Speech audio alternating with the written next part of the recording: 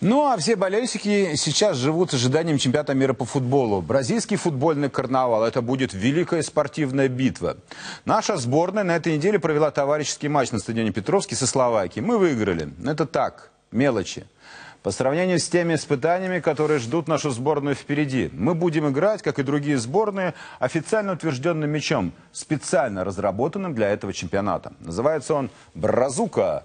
Что это за мяч? Принесет ли он нам удачу в этом чемпионате? Своеобразный тест-драйв Бразуки мы решили провести с нашим уважаемым экспертом, чемпионом СССР 1984 года, игроком золотого состава «Зенита», нападающим Борисом Чухловым. Итак, окунемся в это сладкое предчувствие ожидания великого праздника яркой феерии, согреем берега Невы жарким дыханием Бразилии, которая с каждым днем все ближе, ближе, ближе. Мотор! Василий, здравствуйте. Здравствуйте. Рад вас видеть и огромное спасибо за то, что вы согласились принять участие ну, в нашем, как это выразиться, тест-драйве, что ли. Бразука. Бразука.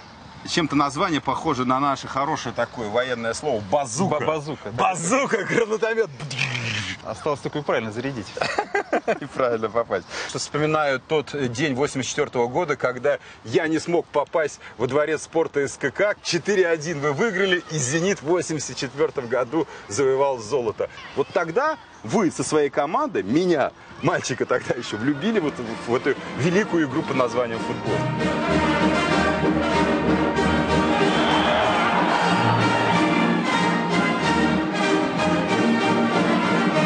Ну, а сейчас что-то в этом- поменялось? Ну, конечно, поменялось. Футбол более превратился, скажем так, в коммерческую структуру, помимо того, что... Это и бизнес, да, уже? Ну, это я и думаю, шоу, это и очень бизнес, большой. и индустрия. Единственное, что шоу плохое получается. То есть, э, ур- уровень- Бизнеса у- много, много, а, а шоу мало. Да, бизнеса что, много, а да, шоу да, мало. это как бы это мое мнение, потому что вкладываются большие деньги, а результат, э, скажем так, ни- ниже среднего.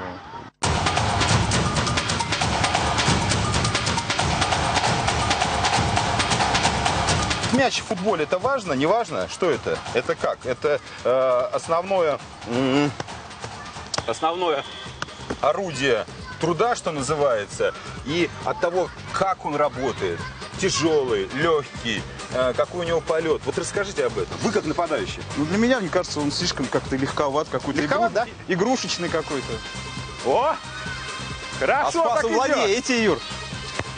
Техничным игрокам будет с ними легко работать, а если более, скажем так, А для вратарей как? а вратарям бы я его не советовал ловить, будешь отбивать. Да. Скользкий, да, будет? Скользкий. Какой мяч вам больше всего запомнился?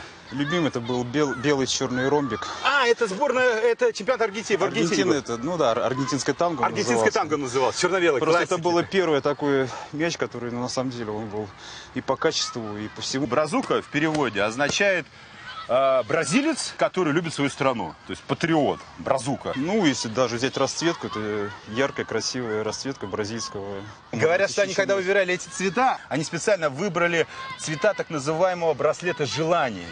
Это такие браслетики, которые вешают бразильцы на руку, загадывают желание и носят. А потом браслетик сам собой там отваливается, и желание исполняется. Желание исполняется. давайте загадаем, Загадаем. Сборная России, ну пожалуйста, ну победите. Выйди из группы. Выйди из группы. Когда выходишь из группы, уже намного легче, уже более раскрепощенный футбол идет, и уже как бы, ну, скажем, какая-то задача решена.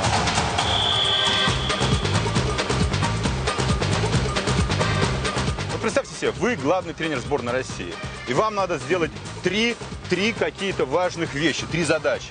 Первое, второе, третье. Ну, первое, хорошо, что я не тренер сборной. Да. вот. Хорошо. А второе, ну, в первую очередь, наверное, попытаться создать хорошую атмосферу в коллективе. Потому что ж не важно, кто выйдет на поле. Самое главное, кто сидит, кто играет и кто находится на скамейке запасных, чтобы это было единое целое. Вот это самое главное. Без этого футбола не было и никогда не будет. И поэтому, я говорю, отдельные личности футбол не играют. Первое, командный дух, любовь к футболу. Второе, Ну, а может быть, не второе, а одно из первых, что у тебя герб России на груди. Что ты не за, не за себя отвечаешь, а ты отвечаешь за страну. а это и второе, и, первое, и, третье. и третье. И давайте вот что сделаем. Я встану на ворота, пять ударов с 11-метровой. Давай, по-настоящему. Нет, сразу по-настоящему. Ну, давай. А. Не, я вообще ничего не понимаю. Мяч движется в одну сторону, я в другую. Я вообще не понимаю, как он так летит. Это, знаете, Борис, как э, спортивные комментаторы говорят, развел мяч и вратаря по разным э, углам ворот. Вот это точно теперь я понимаю, что эта фраза значит. Так, 2-1. Это мой! Светятся экраны теля! Теля, теля, теля светится, а я не блесну.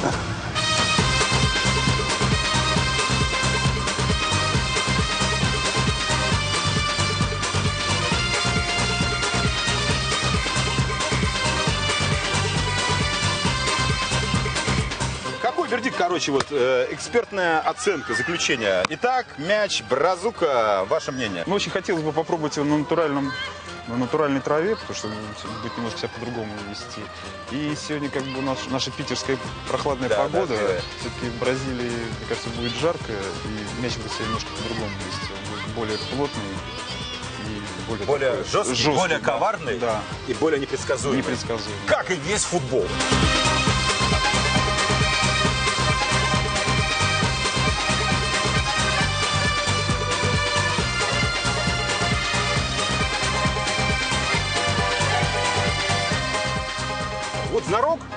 Главный тренер сборной э, России по хоккею, не побоялся, не устрашился ввести 14 новых игроков. Почему бы нам так же не сделать? Была статистика, что Капелла как бы по России больше там 35 человек, он не мог найти россиян, которых более-менее можно рассматривать в сборной. Говорят, красиво, школы работают, и в Локомотиве, и ЦСКА, и Зенит Академия работает, все работают. А где эти воспитанники? Да, нужны иностранцы. Я ничего не говорю, что хотя и как бы и против, но я говорю, нужны иностранцы, которым должны люди тянуться, учиться от них. Борис, еще один вопрос, который мы задаем всем нашим героям.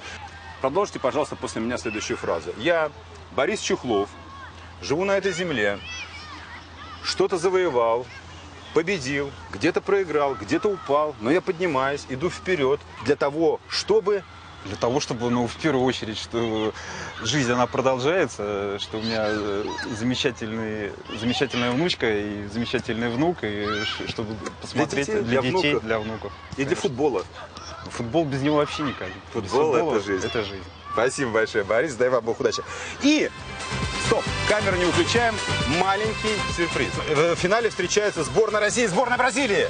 Давайте я за сборную Бразилии буду, да, я люблю Бразилию, а вы будете нападающей сборной России. Если вы забиваете, сборная России чемпион мира. Если нет, значит сборная Бразилии. Давайте.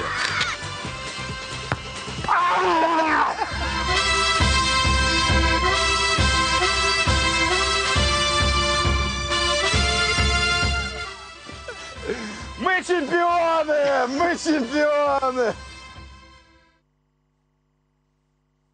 Борис Александрович, это для вас. Ура! Мог ли я подумать, что когда-нибудь подарю своему футбольному кумиру мяч. Но это свершилось. Вот прелести работы журналиста. Спасибо. Спасибо. Поставлю. Куб, кубком. Все, ребят, финиш.